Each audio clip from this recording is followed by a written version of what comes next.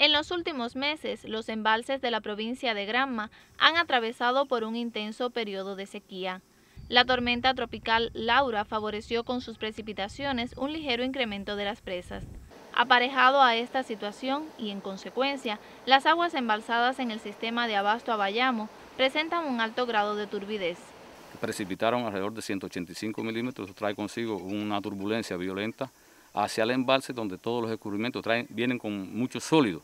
El sólido queda en suspensión en el agua y tiene que ocurrir un proceso natural, no es un proceso inducido, un proceso natural de asentamiento, de sedimentación para que el agua tenga la calidad requerida para poder llegar a nuestros consumidores en el caso de acueducto. No es un proceso de un periodo corto y mucho menos si se le sigue incorporando eh, precipitaciones, lluvias, sencillamente va a ser un proceso que se va a dilatar en el tiempo más de un mes.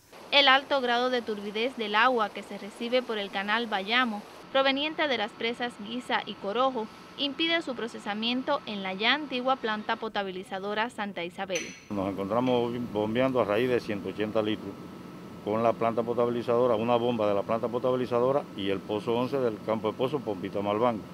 Eso ha traído como consecuencia que se disminuya el gasto de entrega a la población de Bayamo.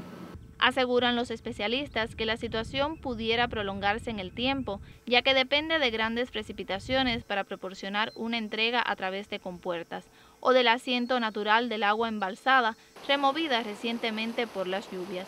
Se impone además el avance en la ampliación de la planta potabilizadora que permite el procesamiento del agua en cualquier circunstancia. Diana del Llano, en directo.